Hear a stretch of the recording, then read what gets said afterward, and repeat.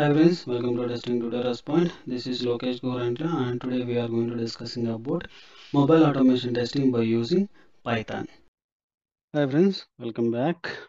And today we are going to discussing about how to uh, do it for fluent wait. See in the, my previous video session time, we are able to see for implicitly wait and explicitly wait how it will work, right? The fluent wait, now we are going to see okay fluent wait also it will work the similar format uh, explicitly wait but there is a small difference. What means the explicitly wait it will take for two objects. One is a driver and another one is time. Okay when you're going for explicitly wait it will take for some additional things. One is pull frequency ignoring exception. What type of element we need to accept like accepting like uh, uh, we need to jump right? Ignore some exceptions. That exception should not be comes to here. Like that we can able to use some exceptions also.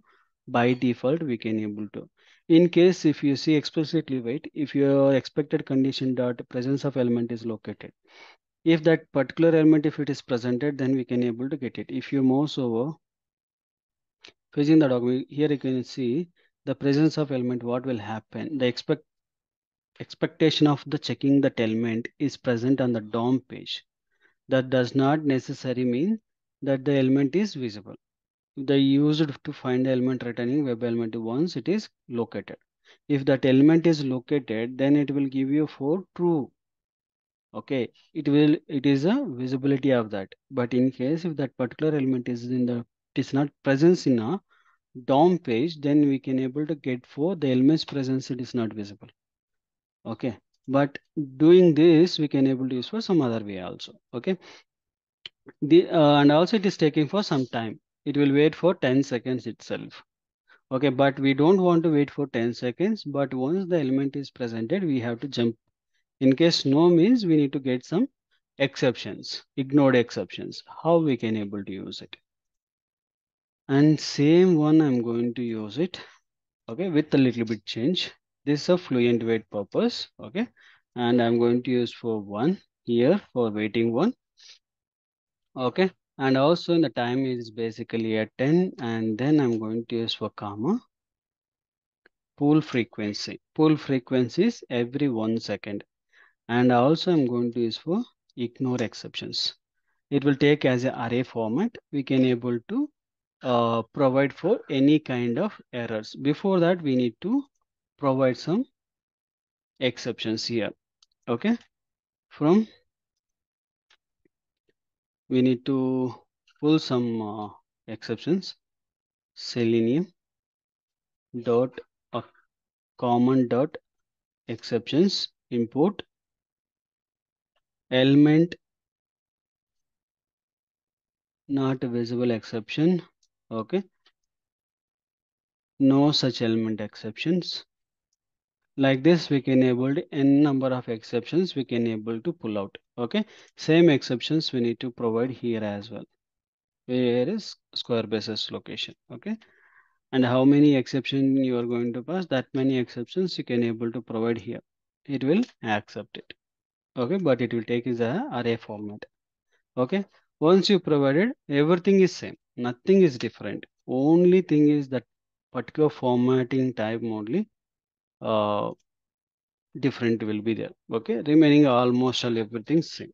Okay then i'm going to take similar format element presency.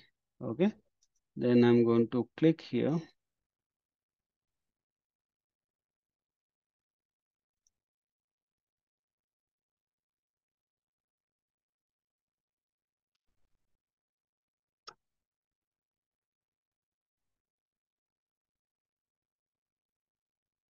okay now here accessibility id and this is my accessibility id one and accessibility id this one okay and i'm going to use for up to here.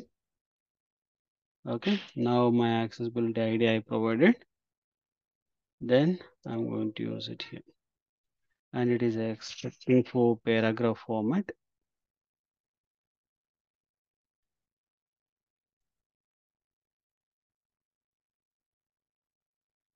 the, okay. Now see the, this is the fluent wait here the different you can able to see. Driver it is we have provided time also we have provided. But additionally we are providing full frequency means 10 times we need to make the pulling.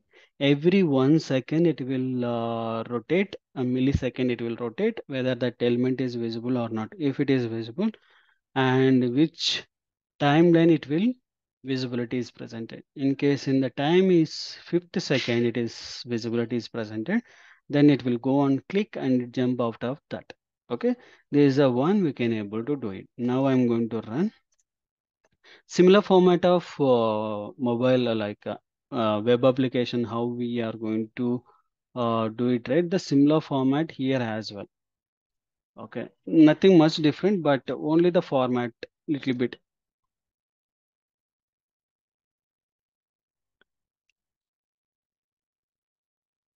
waited and it is clicked. Now see everything is working as expected. Nothing much different. Okay? This way we can able to use it. Even we can able to close after completion of this entire execution we can able to use it for quit. Driver dot quit okay if you are use the quit right what will happen? It will uh, close that particular app after execution is completion. Okay? This is a way we can able to do it. Okay? I hope it this fluent wait also you uh, understood. We'll see for next new topic. Thank you. Subscribe and share to your friends and colleagues and don't forget to comment on this video. Thank you